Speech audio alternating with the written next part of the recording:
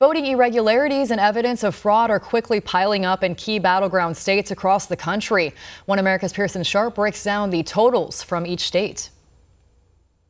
No matter what you hear on the mainstream media, keep this one thing in mind. Joe Biden has not won the election.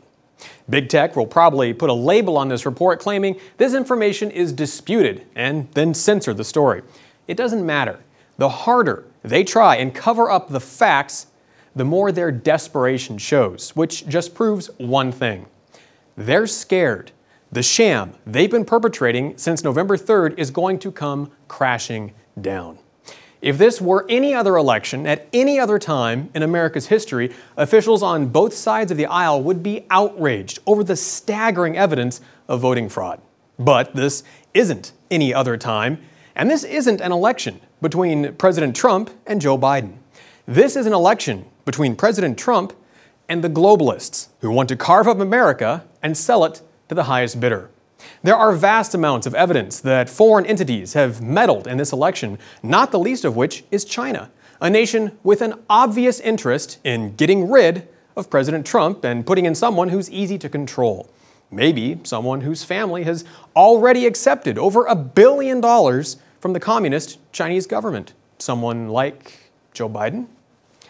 So let's take a second and break down the election and see exactly where things stand. While many states have already been called for the predictable winners, there are six key battleground states where the levels of fraud are off the charts. Let's start with Nevada, because that was one the Democrats thought they'd win handily. The official story is that Biden won the state by 33,000 votes. That's a good margin. Should be a clear win, except it's not.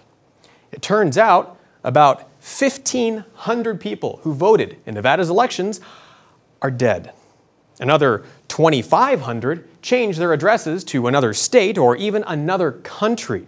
Some 6,000 voters were flagged by the post office as having vacant addresses. 8,000 voters cast ballots from addresses that don't even exist. 15,000 people somehow voted from vacant or commercial properties. 20,000 voters somehow cast their ballots from out of state addresses. And the big one, a whopping 42,000 voters successfully voted twice in the election. Now, even without knowing who all these people voted for, Republicans and Democrats should want to get this cleared up and ensure our election integrity is being maintained, not just when your guy is winning.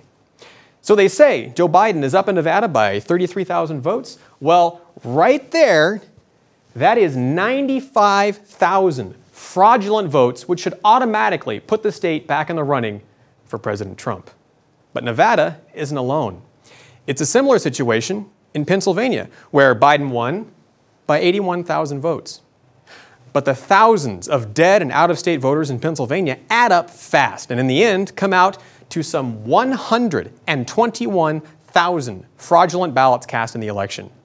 It's the same story in Wisconsin, where Joe Biden apparently won by 20,000 votes. But in reality, some 200,000 fraudulent ballots were cast in Wisconsin, again, totally erasing Biden's lead.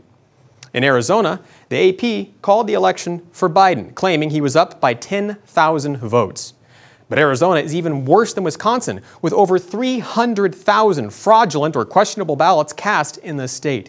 In Michigan, Biden is reportedly up by 154,000 ballots, but that's only until you count the more than half a million fraudulent ballots that have trickled in since Election Day.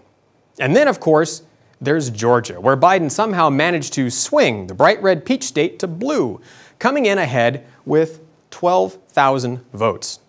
Except that now we have mountains of evidence of voting fraud, including Republican poll watchers being forced to leave under false pretenses so that poll workers could count secret stashes of ballots unobserved for hours.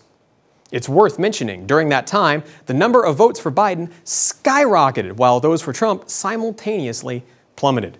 That leaves Georgia with more than 200,000 fraudulent votes, meaning Biden is clearly not the winner.